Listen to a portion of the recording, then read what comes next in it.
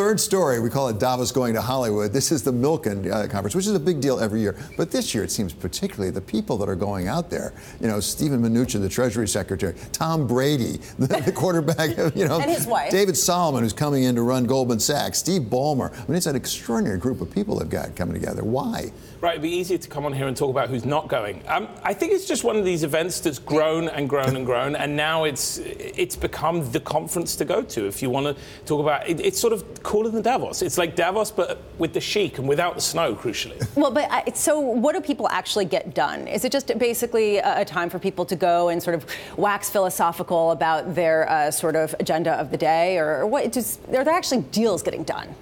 Yeah, I think so. You split it into two things. Obviously, there is a lot of waxing philosophical that a lot of people are sort of grandstanding, but you also have a lot of behind the scenes stuff happening. So there was, I think, in the story we wrote this morning, you can attend these private meetings with Jorge Lemann, who's one of the founders of 3G. Now, anyone who's in the investment world, that's money worth paying. If you can sit down with him and hear his ideas, maybe what he's going to next buy, what you know Kraft Heinz goes after, that's hugely important. So you see a lot of those, you know, behind the scenes or offstage meetings, and I suppose that's the real value add to people. And if you had any doubts about redemption in the United Yes. States, Michael Milken has to be exhibit number one, right? I mean, if you have to remember this man amazing. went to prison for manipulating financial markets, and yet he's really reformed and really did, redone himself. He's a very substantive person, as you know, and he's brought together a lot of substantive people, and they have substantive discussions. It's extraordinary. So what are you saying? The Xerox board shouldn't be that worried, even if they. Yeah, exactly. They can come back and They can just bounce back. Yeah, exactly. The Xerox conference next time. There you.